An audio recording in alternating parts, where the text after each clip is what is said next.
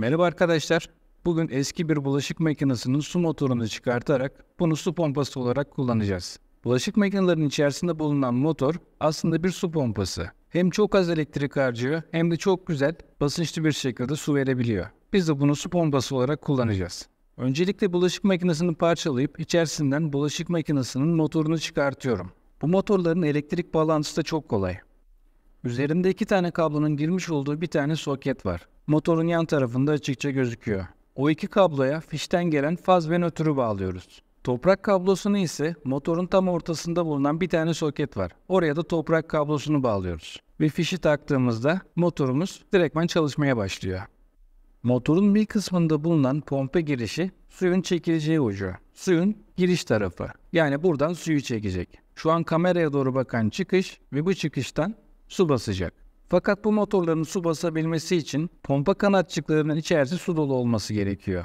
O yüzden bir tane check valve kullanmak zorundayız. Bu check valve'i e, su çekecek hortumun ucuna bağlayacağız. Ve pompanın içerisine su dolduracağız. Check valve diğer yöne su geçirmeyeceği için su boşa gitmeyecek pompanın içerisi su dolu olacak. Check valve dediğimiz şey bu aslında arkadaşlar. Bir yönde su geçiriyor, bir yönde su geçmesine izin vermiyor. Ben bu bulaşık makinesi motoruna evlerde kullanılan plastik borularla su doldurmak için bir tesisat yapacağım. Gerçek bir su motoruna benzeyecek. Üstüne bir tane vana koyacağım ve oradan içerisine suyu rahat bir şekilde doldurabileceğim. Evet arkadaşlar söylemiş olduğum gibi plastik boruları ben yerleştirdim. Üstünde bir tane vana koydum. Şimdi bu vanadan suyu dolduracağım. Pompanın içerisi tamamıyla su dolu olacak. Yaklaşık 5 litre kadar su aldı. Hortum 4 metre civarında. Şu an biraz yükseğe koydum pompayı. Hani biraz daha aşağıdan çekebilecek mi diye test edeceğim. Yaklaşık 1,5 metre yükseklikte. Pompaya suyu doldurdum. Borunun içerisi su dolu. Ben şu an kovadan çekeceğim. Ee, şu an burada bir kuyu olmadığı için kovadan çekmeyi deneyeceğim.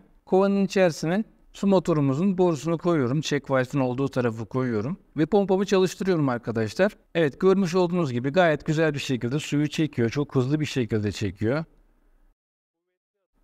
Kovanın içerisindeki su hemen bitti ve ben şu an yeniden dolduruyorum. Bu pompa gayet güzel bir şekilde suyu basabiliyor, hızlı bir şekilde basıyor ve enerji tasarrufu da çok yüksek arkadaşlar. Bu pompalar genelde 50 watt ile 70 watt arasında gücü değişiyor. Yani çok büyük güçlü değiller yani çok az elektrik harcıyorlar. Bu pompayı akü ve invertör kullanarak tarlada, bahçenizde sulayabilirsiniz. Gayet güzel bir şekilde evlere gelen belediye suyunun yaklaşık 3 katı bir şekilde suyu basabiliyor.